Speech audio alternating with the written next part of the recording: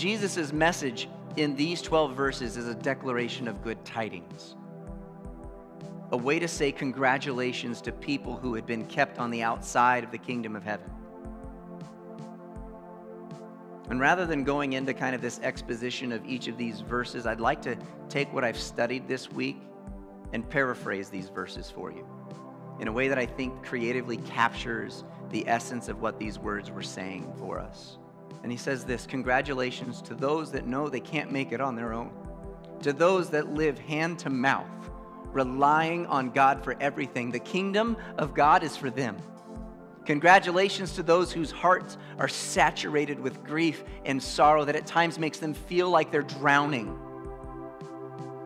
God's going to make all their sad things come untrue one day.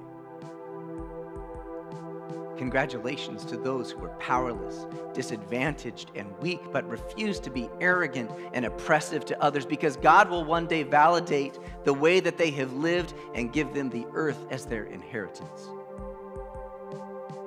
Congratulations to those who feel the hunger pangs of their soul, longing to live the lives that the way that God wants them to. God's going to prepare a feast for their souls that will blow their minds with how satisfying it is. He'll fill up their souls with the best that God can give.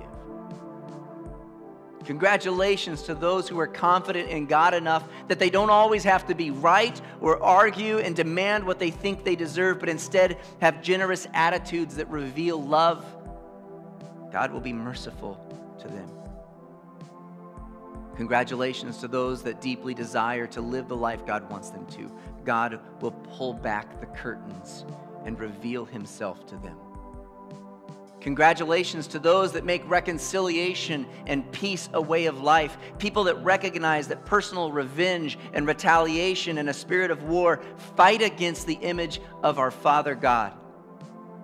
God sees their struggle, and one day it will be said of them, they look and act just like God their Father. Congratulations to those that refuse to bury their whole lives in the sand but live honorable lives for God and are persecuted for that. God's kingdom belongs to them. Congratulations when my followers are made fun of, lied about, and rejected by others as backwards thinking, weak minded fools that deny reality because they're committed to God and Jesus. Rejoice. Celebrate that you are in good company and your reward in heaven is going to be so amazing. And if that's you, remember you're in good company.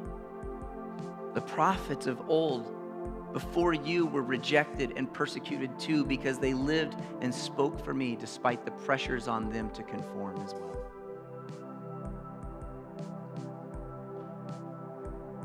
Congratulations.